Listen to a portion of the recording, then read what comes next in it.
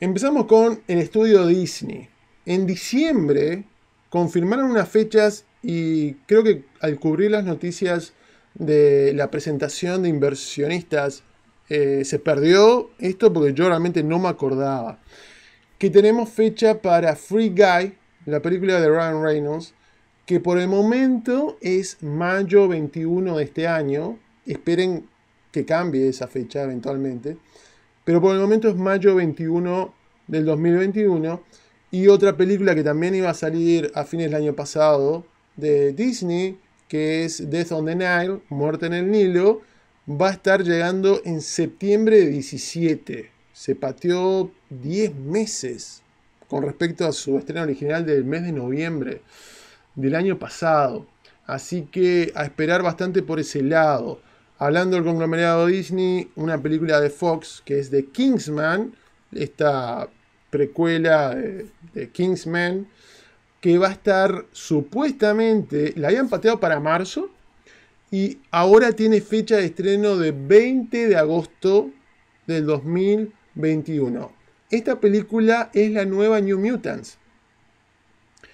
Porque está todavía colgado con el acuerdo que tenía Fox con HBO, donde ahora Disney no puede pasar estas películas de Fox en sus plataformas como Hulu, por ejemplo, o Disney Plus, que fue el mismo problema de New Mutants. Esta película de Kingsman creo que fue postergada como cuatro veces o cinco veces. Y para mí pone un gran signo de interrogación al futuro esta franquicia que supuestamente Matthew Vaughn quería hacer como tres películas más. Yo la quiero ver la película, se ve muy cool, pero se sigue pateando y pateando para adelante. Searchlight, seguimos dentro del paraguas de Disney. La película Antlers, ¿se acuerdan de la película de horror producida por Guillermo del Toro? Eh, con Kerry Russell y eh, Jesse, Jesse Plemons que yo ya vi, dicho, dicho sea de paso, la vi hace. ¿Cuándo la vi? ¿Febrero del año pasado? Dios mío. Ah, va a estar llegando supuestamente para Halloween de este año, octubre 29, 2021, la película Antlers.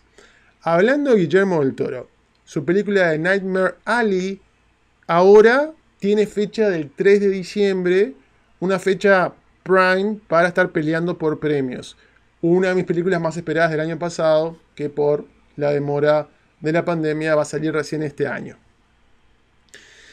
No podemos hablar de Disney sin mencionar Black Widow. Eh, han, salido varios reportes de que está considerando Marvel Studios Disney postergar Black Widow de su fecha de mayo 7 y patearla para más adelante. Hay un, eh, un reporte en Variety que especula con que sea sacada del calendario hasta nuevo aviso. Lo cual es un poco difícil porque creo que van a querer asegurarse plantar bandera con una buena fecha lo antes posible. Y al día de hoy se puede apostar que va a salir este año. Pero no mucho más que eso. Y que potencialmente va a salir también eh, Eternals. Pero si se posterga, yo creo que si se posterga, van a, tratar de meterla julio-agosto.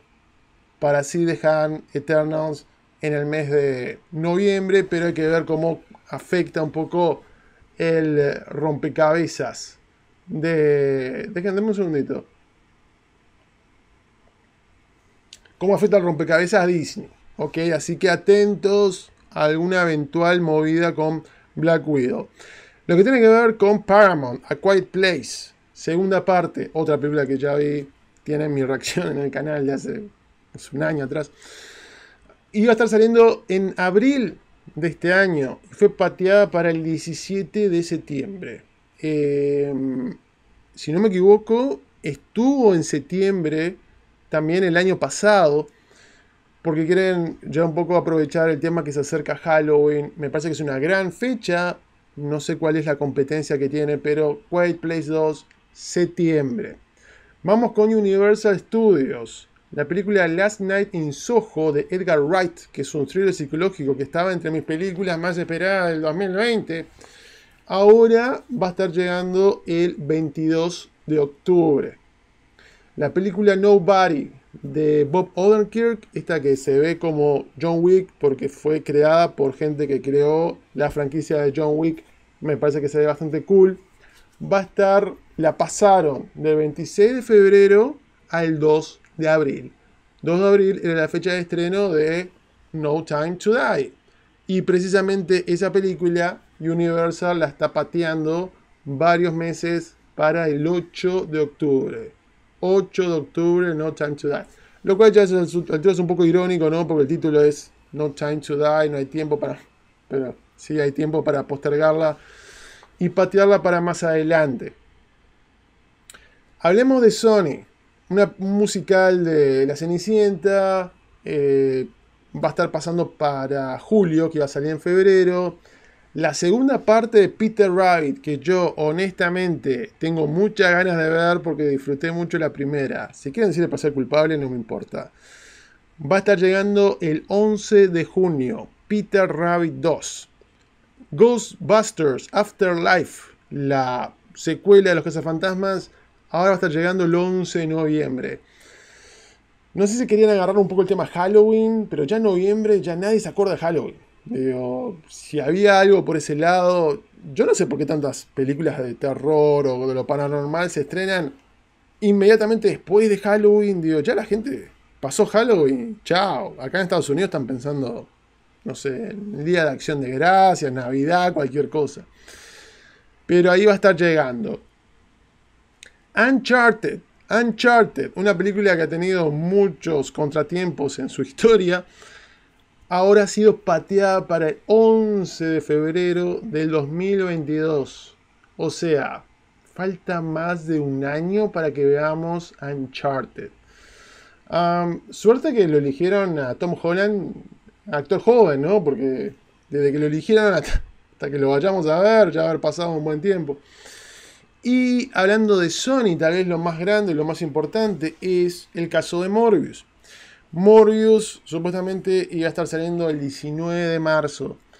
Y, y, cuando anunciaron la postergación, Sony dijo, oh, lo vamos a meter ahora el 8 de octubre. Días después, Universal dice, perdón, excuse me, y le meten James Bond ese mismo día, 8 de octubre, y Sony dijo, never mind, agarró a Morbius, lo sacó de octubre y lo tiró para el 21 de enero. 21 de enero del próximo año. Ahora sí, un año exactamente. Vamos a dar Morbius dentro de un año. Exactamente dentro de Ahora lo estoy grabando hasta el 25. Y es muy interesante este cambio de Morbius. Eh, es entendible que le tengan miedo a Bond. Es una franquicia probada. Eh, Creo que dos de sus películas recientes han pasado los mil millones de dólares. Se ve muy cool la película. Entonces entiendo que no quieran compartir directamente con Bond. Fantástico. A mí me preocupa un poco que la fecha que hayan elegido sea el 21 de enero. O sea, ¿no podían meterla un poquito antes o un poquito después del 8 de octubre? Patearla para el 21 de enero. Es cierto que enero ha visto buenos éxitos del género de horror, pero generalmente han sido micro presupuestos, micro presupuestos que no demandaban demasiado para convertirse en, sucesos. Muchas películas de Blumhouse, por ejemplo, 5 millones de dólares, algo que sale 10 millones de dólares. Ok, fantástico. Aquí estamos hablando de una producción más importante, más grande y del género de superhéroes que te lo tiren en el mes de enero, que aún al día de hoy sigue siendo el basurero de los estudios. Para mí es un signo de alarma. No estoy diciendo que Morbius necesariamente va a ser una mala película, pero me preocupa esta fecha de estreno de Morbius. Tengo ganas de ver la película, es una de mis películas más esperadas de las próximas de superhéroes porque es algo diferente, es un gran actor, eh, Jared Leto, eh, es una mezcla nueva, sangre fresca. Y me preocupa bastante por qué lo tiraron en esa, en esa fecha. Tal vez es un toque maestro, genialidad, se agarran toda la taquilla. Ojalá que sea el caso y sea la mejor película de todos los tiempos. Para mí, un poco preocupante. En lo que tiene que ver con Venom, la segunda parte, Let There Be Carnage, ah, al día de hoy se mantiene con su fecha de estreno de junio 25 de este año. Hoy hay que apostar todas las fichas a que Venom va a salir en el 2022 y va a salir después de Morbius, salvo que hayan hecho algún tipo de cambio. ¿Por qué digo esto?